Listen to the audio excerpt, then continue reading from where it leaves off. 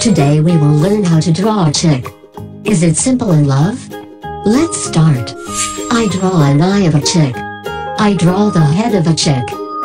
I draw a cute and small beak of a chick. I draw the neck and belly of a chick. I painted the back and neck of a chick. Great. I draw the head and legs of a chick. When the chick grows up, it becomes very delicious chicken, I like this.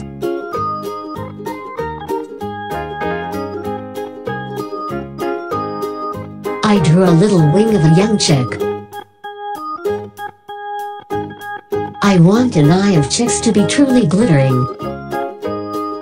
I use yellow to color the entire body of a chick. You know, hens will hatch eggs 21 days to hatch eggs into chicks.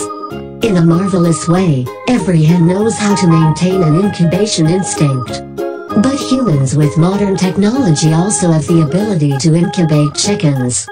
Often people will not eat chicken meat when they are just chicks but have to raise them until they grow up. Chicken is a very popular food in the world. Chickens are generally not rare animals and are very easy to keep. You can also raise chickens as pets, but do not bring them home if you do not want to see dirty waste scattered in the house.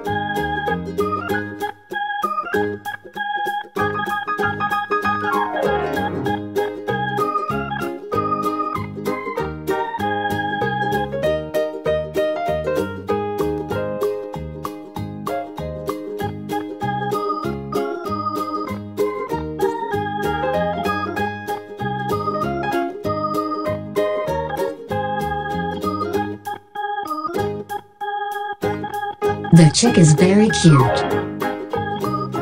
I use orange to color the small legs of a chick. And flat ground would be ideal for a chick to take the first steps of life before becoming a good snack.